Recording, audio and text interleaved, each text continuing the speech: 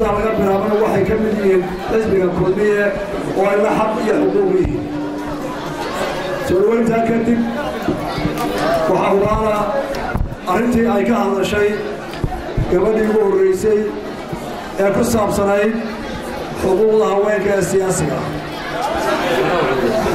Saalaw cilmi qodobkii ay ka hadashay in yar baan ka odhanay waxaa hubaala habluhu waxay ka mid yihiin boqolkiiba konton shacbiga somalilan haddii haweenku ka qayb waayaan talada dhismaha iyo horumarka dalkana oo laga reebana waxaynu ognahay boqolkiiba konton hawshii dalka laga qaban lahaa.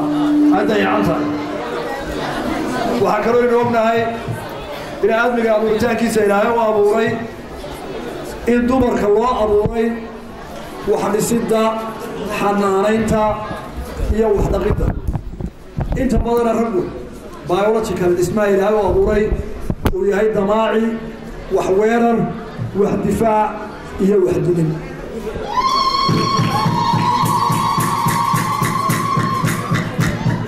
fiirsa haddaa u fiirsataan arrintaas waa biological. Haddaa u fiirsataan carruurtu markaanay wala galaadaysan ee carruurta yar ilaa toban jir iyo wixii ka yar ee wiilka iyo gabadha walaalaha ah. Inantaa yar sideed jirka ama lix jirka ahy afar iyo labaatanka saacad markay keligee tahay ama maskaxdeeda hadday ciyaarayso waxa ay sawiranaysaa waa dhismo. Waxay qaadanaysaa caruusyad yar halkanay ku haysaa way xanaanaynaysaa waxbay googlaysaa hadday ciidda ku ciyaarayso wax dhismaay ka hadlaysaa. Waxay ka hadlaysaa daddiqid iyo xanaano. Inanka la da-dee la mataanaha ah ee sagaal jirkii wuxuu ka fikirayaa waan ledgey waan dilay waan ka adkaaday waan ka dheereeyey buu ka hadlaya taasina waa dabeecadda uu ku soo garo raggu waana wax caalamiyana taa waxaa la ogaaday horumarka dunidu gaadhay markay haweenku ka qayb galeen dhakhtarnimada oo ay kaga ficlaadeen inamada markay galeen habluhu macallinnimada oo ay kaga fiicnaadeen ragga. Raggu meeluu kaga fiicay oo abuurtaana jira dagaalka ka mida hawlaha culusa dhismaha ka mida xadiidkooloo dhalaaliyaa ka mida dhagaxoo la jebiyaa ka mida waa abuuritaan gaara caalamku walaalayaal waxaanaynu soo marray soo maray. Hablaheenu dhibaatada ay soo marayaan iyo halganka waa la soo maray. Dalalka iminka horuu maray ee masalan laga daydo ee maraykanka oo kale ka mid yahay norway sweden dhammaantood kun iyo sagaal boqol iyo saddex iyo tobankii ilaa labaatankii wixii ka horreeyey.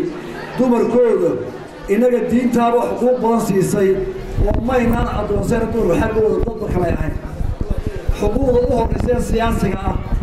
Dalalka ugu soo horreeya maraykanku kun iyo sagaal boqol iyo labaatankii uu ogolaaday norway oo aad loogu daydaa kun iyo sagaal boqol iyo saddex afartankii bay yeelatay waa taariikh dumarku ay soo mareen oo adduunka oo dhama raggu uu adduunyada u tashanayay.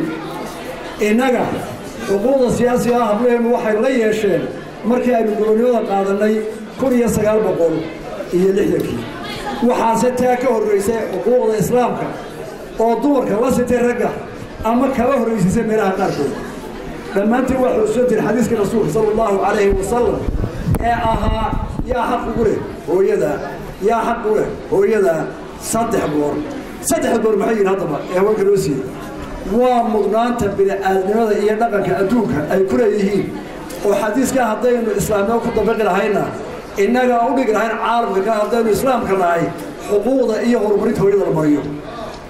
Waxaa ku xigay afar iyo toban qarni ka hor taladii ugu adkayd ee xujada ahayd ee rasuulka qabsay calayhi salaatu wasalaam ee ahayd xudaybiya ee la yidhi ka noqon maka geli maysa maysid isagoo ciidan wata oo raggiina yidhi waanaan dagaalano xoogaa ku gallo yaa go'aankii u qaatay soo saaray ma nin buu ahaa oday garcasaana muu ahayn nin murqiya waaweynna muu ahayn mid bidaarlana muu ahayn xaaskiisii baa heshay xalkii maalintaa islaam ku quliystay waxay ku tidhi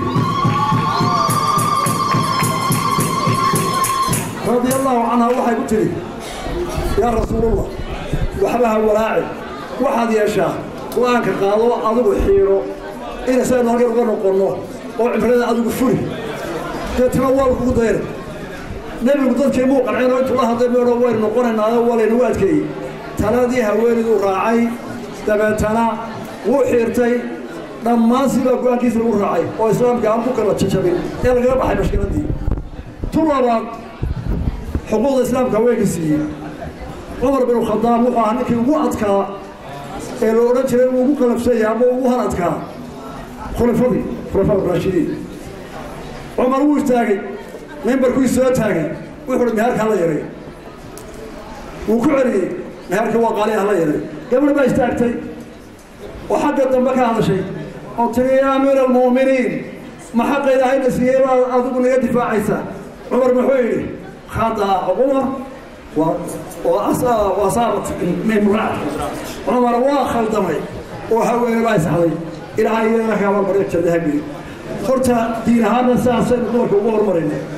xuquuqda iminkaynu halgamayna caalamkaynu ku igsanaynaga ugu horreynay. Hase yeeshee waxaynaan diidayn dhaqankeenna soomaalidu inuu hablaha xuquuqdoodii ku gafay oo aanu siinin baynaan isla diidanayn maanta. Hawsh waxa weeye seebanu taa uga baxna. Seebanu dadkeenna u dhacsiinaa war haweenku xuquuq intan ka badan leeyihiin oo islaamkuna ogolaya marnaba siin mayna xuquuqda wax islaamka oo shareecada islaamka laakiin xuquuqdii islaamku siiyey ee ahayd inay wax hogaamiyaan inay tala bixiyaan inay qaybtooda qaataan ayaynu u doodaynaa inay helaan. Walaalayaal adduunkuna mataa ka mugmaaya maalan caalamka maanta waxaa lagu heshiis yahay oo qolooyinkii yurub iyo maraykaneed dee horey waxa ugu cararayay ay ka markhaati boqolkiiba labaatan ilaa soddon dhaqaalaha ummadda ummad kasta maraykanka somalilan cid kasta dhaqaalaha ummaddu iyo hantida ay leedahay soo gala sannadkii inuu yahay hawsha ay dumarku guriga ku qabtaan meel kastoo ay joogaanba oo aan mushaaharo iyo xuquuq kala lagu siinin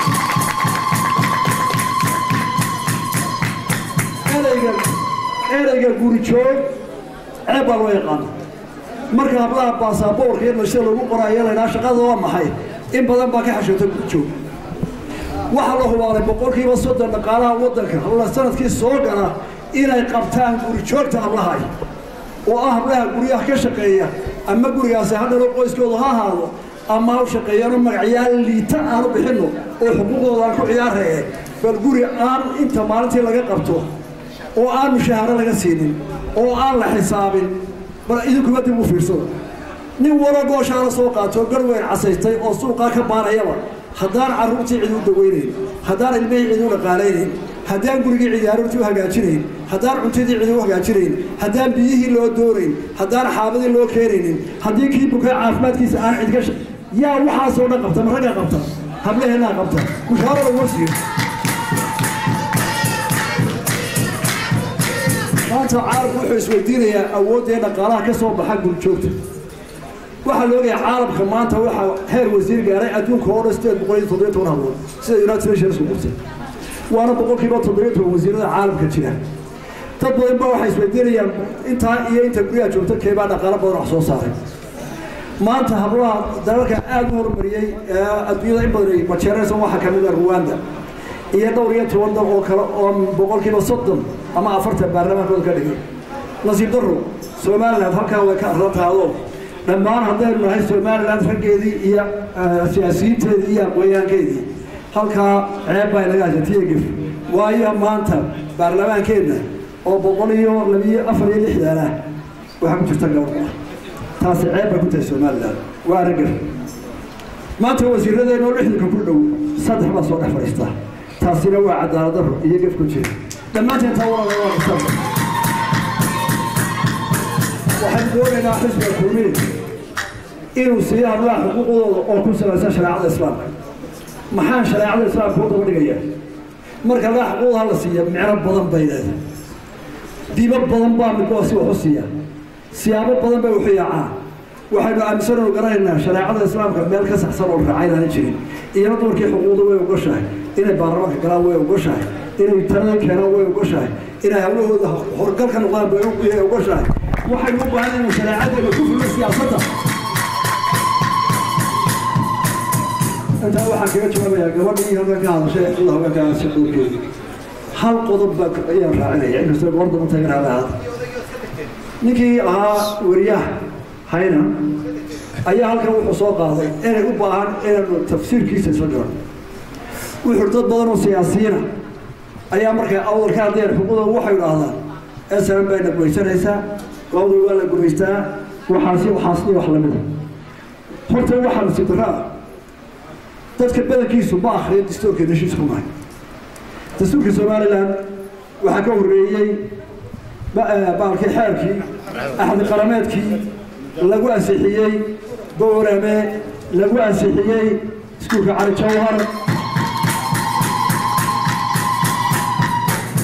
Xeer hoosaadka ololihiisa iyo loobingiisa iyo habeenodhanka hadalkiisu boorama lagu dhameeyey haddaba nin booramaa lagu dulmiyaya dastuurka iyo somalilan ma cidi waxaa ku leedahay. Miyaa dhici kartaa magaaladii xeerka samaysay xeerka baa lagu dulmiyaya tu kalaa ku daraya. Walaalayaal dagaaladii dhacay ee afweynoo sawtaha ee esam ka mid ahayd waxaan doonayaa halkan wixii lagaga hadlay kun iyo sagaal kun iyo sagaal boqol saddex iyo sagaashankii markii xeerkaa la sameynayay doodihii hudheelka harawo ka dhacay dhalinyarada aan ogeyn iyo ragga jaamiciyiintaan ka warhaynin iyo kuwa kale dhaga hara inaan u fasilo waxay ahayd. Doodii harawo ka dhacda waxay ahayd gobollada sool raggii ka joogay oo cali khaliifkaa maanta gudoomiyaha sheegada khaatuum ka mid yahay oo xaabse ka mid yahay oo ninkii la odhan jiray allah naxariistay sagana ka mid yahay oo oo cabdiqani ka mid yahay iyo raggii halkan joogay oo ahraamta qoladii la odhan jiray ahraamta boorana ay ka mid yihiin oo inta allah naxariistay odaashaa garanaysa oo brofesorada ka mid yihiin iyo esar oo markaa baa foodaystaray laba su'aalood baa la isweydiiyey oo maxaynu ku madoobaynaa? Ma waxaad doonaysaan inanka esar mana noqdo mujaahid geesi ah oo taalo loo dhisoo la ammaano oo dhaawiciisa la xanaaneeyo kii booramee horyaal ahaana uu noqdo faqash la dilay oon ahayn ixtiraam aan lahayn. Ma waxaad doonaysaan kii esar inuu noqdo helo kii darwiishka ahaa laascano daafacayana uu noqdo faqash oo aanu xuquuq yeelin jawaabtii aanu bixinaa bisheegeen ka mid ahaa guddigii joogtay. Ragga maanta nool aan filayo inay raggii joogeen cabdiraxmaan cali waa ka mid a sheekh cabdilaahi baa ka mid a raggaan xusuusan karo cabdiraxmaan gaagaala wulogi raggii ugu doodalka waxaa ka mid ahaa ninkii waagan watarinta wasiirka ahaa garaan halkana ugu hadalka uu mari cabdillahi dhaare habane xogeyntii u ahaa waxaan ku jawaabnay waxa loo qaybiya allah naxariista aniga day. Waxaan ku jawaabnay waan soo tashaday waxaan ku nihi horta markii aan istiraynay haddii horyaal iyo isku hor yimaadeen ma innagaa iskeen isu dilo wax kala tirsanaysay mise waa la isku keen dilay jawaabtu waxa soo waxda la isku keen dilay oo dawladii daarkeeda faqashtaa isku dishay waayo annaga waxaana la yidhi xorriyaddii aad haysan lahaydeen iyo dalkii aad ka celin lahaydeen waxa ka soo horreeya oo idin dilaya ree awda dabeetana waxaan soo qaadanay annagoo sasano ree awda cad u haysan. Kii awdal joogana wuxuu ihi ma aniga ayaa dalkayga lagu soo dulaa oo carruurtayda iyo dumarkayga guryahaygii eesan nulaynaysa saaxiibadaan isku galaaskaan bahay masdurooyinka dhacday ka mid ahay indha qarshaa ka mid ah loo naxariistay oo isku galaaskaan mar walba maxaa soo baxay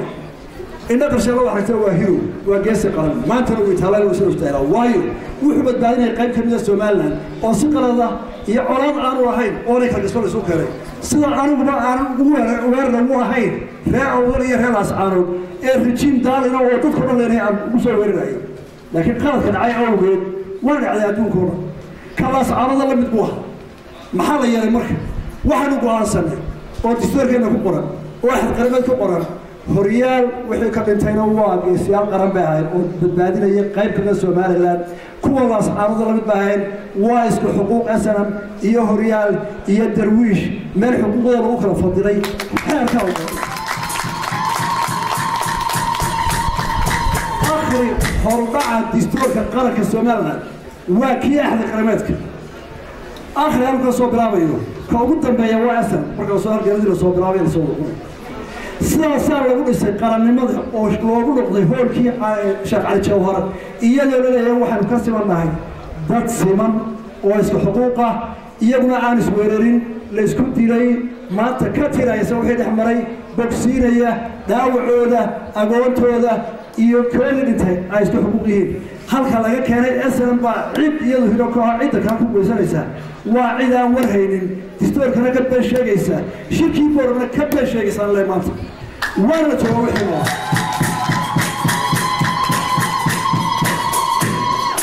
waxaa su'aasha imanaysa cidda iga dhegaysana midiga ay soo celin doonaan waxa weeye. Oo haddii aad saa mudaynaysa inaad somaliland intii ingiriis ka tegey. Oo aad saa isugu midoodeen isugu qaateen maxaa qoladiina aslam u diidan tihiin xamar iyo mudala isku maxaa soomaali diidaysa in xamar mudayo taana waxaan doonaya inaad joogta haddaanu nahay reer somaliland oo dhan ma diidanin in caalamku midoobo oo dowladaha geeska afrika midoobaan marka hore waxaa la hayaa sideebanu midownaa haddii markii asanatibada ay tiraahdo hayna midoobin awdaley ano aynagoon xuquuq siman lahayn oo isku mid a deel ma yeedheen soolna ma yeesheen haddaan la odhanay dhulkan wanalaa xuquuq siman baynu leehay dabeetana inagoo isku midan waxba dhisanayna xamar iyo nimanka jooga waxaa leeyahay fariinta la isku haystaa waxa weeye. Waxay afrika oo dhamme ku dhisan tahay. Ee dowladaha afar iyo kontonka ah ee afrika ku dhisan yihiin xuquuqdooda iyo sharciyada. Ee adduunyada ku dhisantay dagaalkii labaad ee adduunka.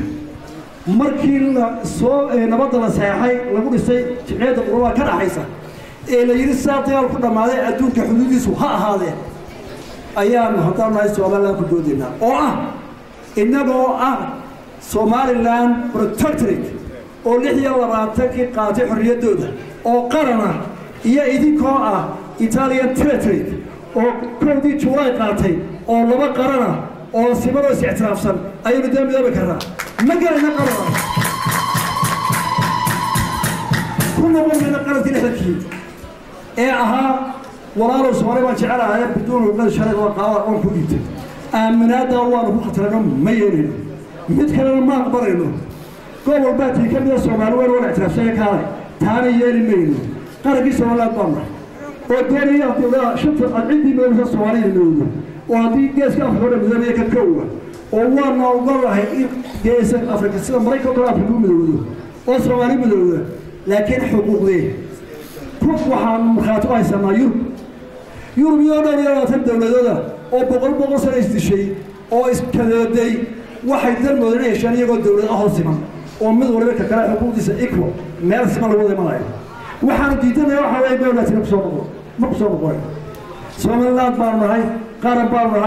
waanu isku tashanay walaalayaal idinkoo somaliland territory oo xeerkii afrika kudhisan raacaya ayn baan u sheegaynaa saaxiibadayda ragga somaliland ee aqoon-yahanka ee xamar ka talaya waxaan leenahay bal qodobkaan ka soo jawaaba wasalaamu calaykum waraxmatullahi wabarakatu